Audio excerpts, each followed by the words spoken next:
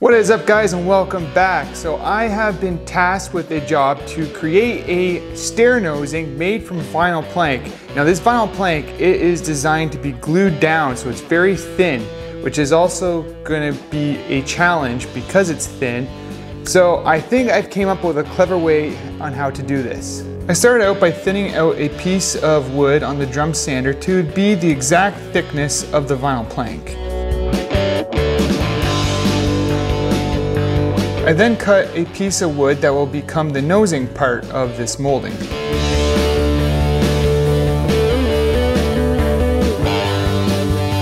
Next I glued those two pieces together and I used a piece of wood on the bottom side as a clamping caul to make sure I got good and even clamping pressure.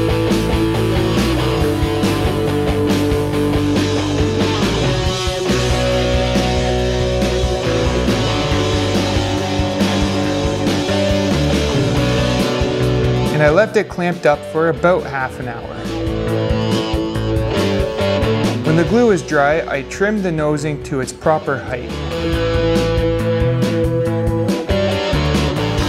Then over at the router table, I added a half inch round over which gave it a rounded radius on the front of the nose. I did this in two passes.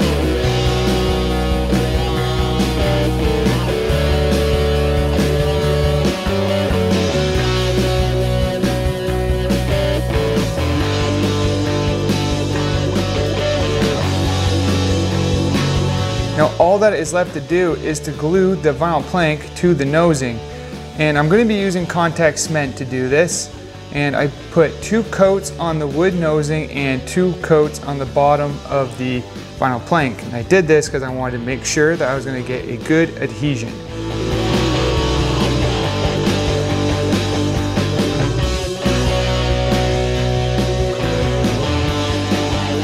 When the contact cement was dried to the touch, I carefully mated the two pieces together.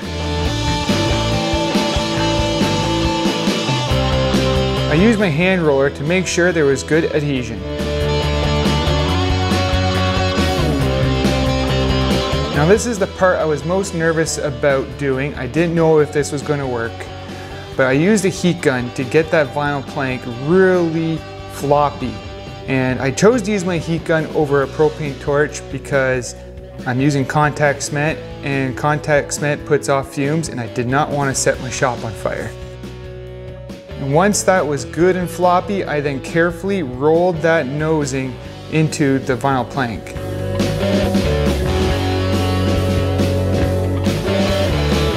I used some clamping cauls to help hold that nosing in shape as it cooled down.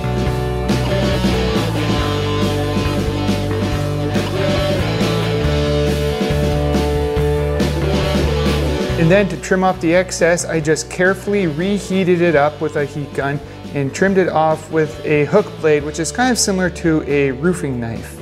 You have to be very careful that you do not get this too hot because contact cement will release with heat. And the last step is to trim it to length.